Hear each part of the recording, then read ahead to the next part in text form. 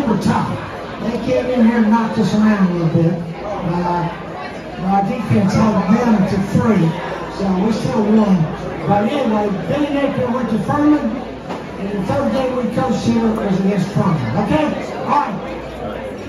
This is, uh, to give? Yeah, it's delicious. Everybody take one. Everybody get one. It's amazing. Okay, I gotta have another trivia question.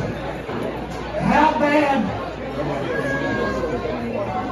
You gotta be 21 to win this uh, four pack. Four pack of it. How bad did Nebraska beat us in the 95 national championship? 62, 62, 38, 62, 24. 62-24, right? Wow. 62-24. Yeah. Let's talk about the next Sometimes Sorry. You gotta remember when you get clobbered. Can I just, can I just see your ID when you have a minute? Thank you. 52-20 the next year. Yeah.